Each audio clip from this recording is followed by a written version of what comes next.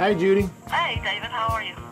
Old and tired. How you doing? I just had a call from a major TV network, and they want you to do a reality show. Hmm.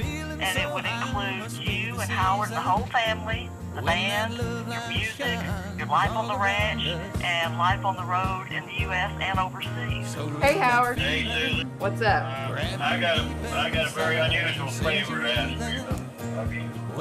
Oh, boy. You want to do a, a vote by hand or no? I'm not going to get anything.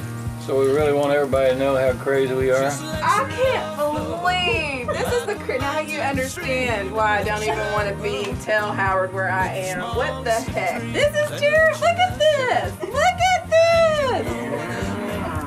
Oh my God. Well, where'd you find that one sucker at? The girl. Oh, I thought you met the bull. We uh, we came over to seek your advice. We've uh, we've come to ask you a question. We've journeyed far.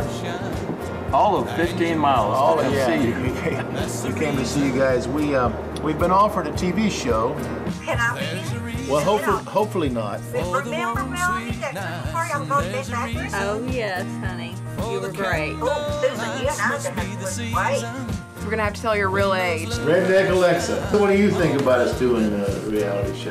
Your destiny is playing country music in a honky tonk. She's smarter than I thought she was. Yeah, she is pretty smart. It's loving embrace. Hello, I'm David. I'm Howard with the Bellamy Brothers, and you're watching the Honky Tonk Ranch.